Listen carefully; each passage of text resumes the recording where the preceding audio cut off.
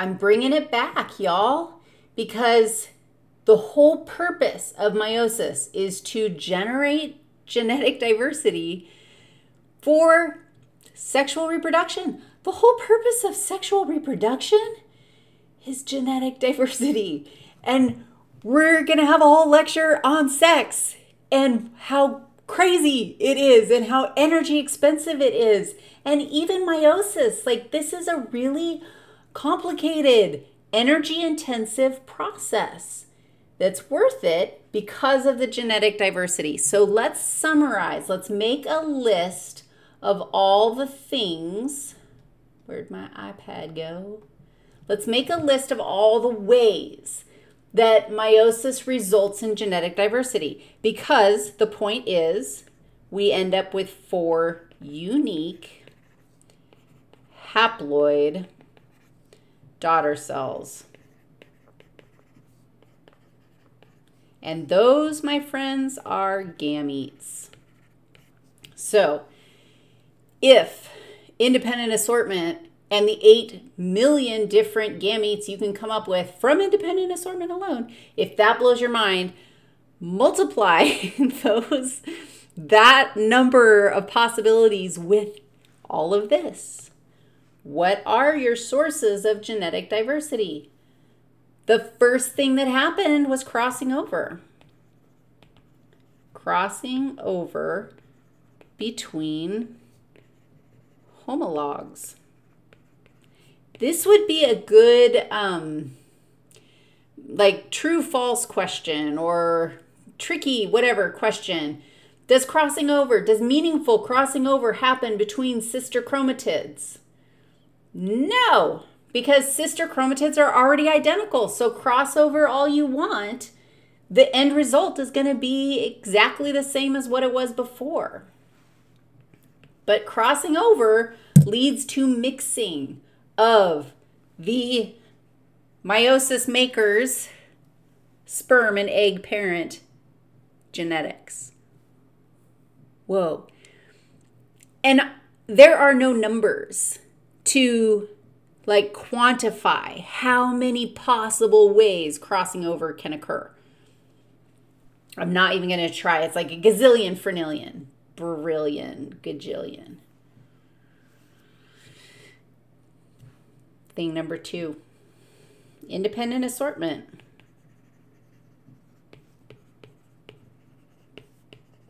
And I told you that with our 23 chromosomes, oops, it doesn't go like that. I'm going to go ahead and do that. 23 independent chromosomes. That leads to 2 to the 23rd power possibilities, which is 8 million and something, blah, blah, blah, whatever. That's a doo doo load of possibilities just from independent assortment. And you have crossing over as well. And then I'm just like, come on now. We're throwing it into a different color because this is the only one in genetic diversity that we haven't talked about yet. Sperm did it. All that diverse possibility. Egg did it. All that crazy possibility.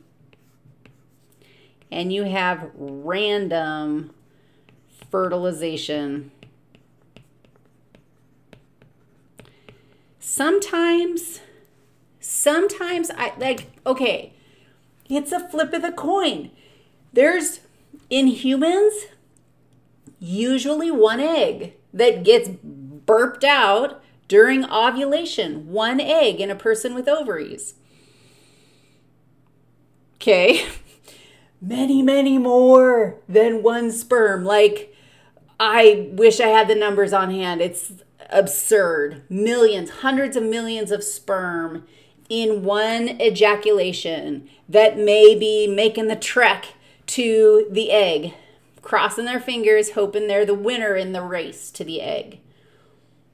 Okay, one egg of a million, 500 million. I can't remember how many eggs there are in an ovary, but it's a lot. Maybe it's a million total eggs in an ovary. One of those gets picked. Which one? It's random. One of the sperms makes it. Which one? It's random. Random fertilization means that all the possible eggs and all the possible sperm, that combination, who knows? It's going to be another flip of the coin, and that is going to end up with even more genetic diversity. It is an amazing, phenomenal thing that you are here. You, all the things that had to happen for it to be you, your egg and your sperm that combined to be you. Oh, be really, really, really nice to yourself because you are phenomenal. You are amazing. Oh, okay. The last thing we're going to do is go through the whole process of meiosis again. We're going to go through that entire slideshow. If you're like, home kid, I got this, I don't need another review, then you're not going to get more information in the slideshow. But I debated about how to go through this lecture, and I feel like it might be helpful to see the whole thing from start to finish so that you feel really comfortable with um, with the process and you get you get the whole picture at once. Okay, I'll be right back. I was about to say goodbye, but I'm not saying goodbye. I'm going to be right back, but I don't know about you. Okay.